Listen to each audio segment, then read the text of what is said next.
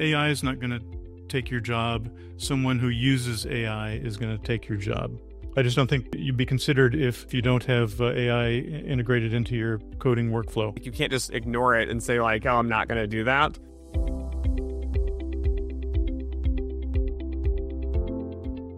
What you guys are actually witnessing AI's automation of tasks like you know model validation, risk assessment.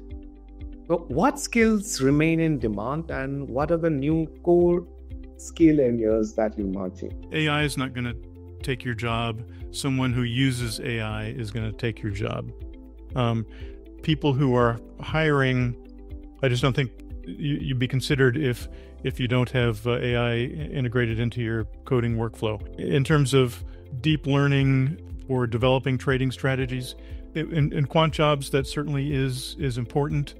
I would say maybe it's definitely a plus. It's not essential compared to knowing how to leverage uh, large language models. A reason I say that is because a lot of the information that we might be able to exploit in trading is words. And so knowing how to take advantage of that, I think, is prime, uh, say, compared to building other types of machine learning models. Having AI look out for things out of the ordinary, and, and again, you want to tune them or have them pay attention to things that you know about. Like if you're especially knowledgeable about uh, stocks in Hong Kong, Singapore, India, wherever, focus on properties of those that you will be able to take advantage of and have have the AI raise those flags for you.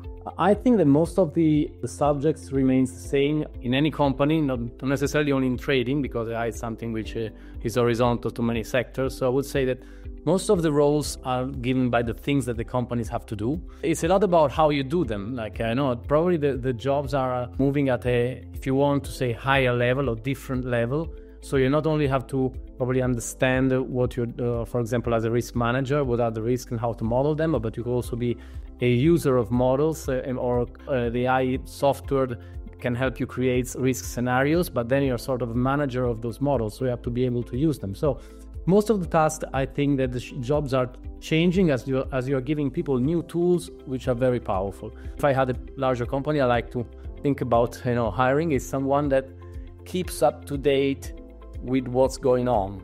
And now with AI, I feel like you can't just ignore it and say like, "Oh, I'm not going to do that." I think that's going to be a new career skill. We're trying to figure out the depth of what you're required to do, and then you know we want to see it, but how much time do you spend on that? And to Matteo's point, right?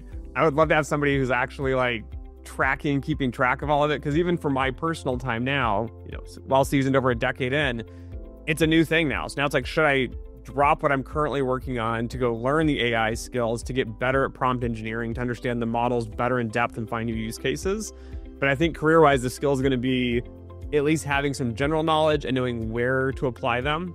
But yeah, it's a hard piece to be in. But I think, you know, AI is going to be a new skill that's going to be required for most roles.